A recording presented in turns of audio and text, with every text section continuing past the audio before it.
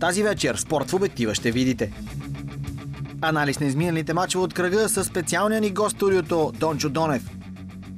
Ще спънат ли Етър и Краси Балъков Левски на Герена? Какво направи преследвачът ЦСК София в Благоевград?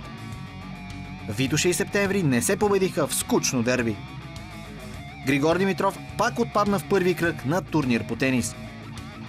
Всичко това и още очаквайте тази вечер точно в 21 часа.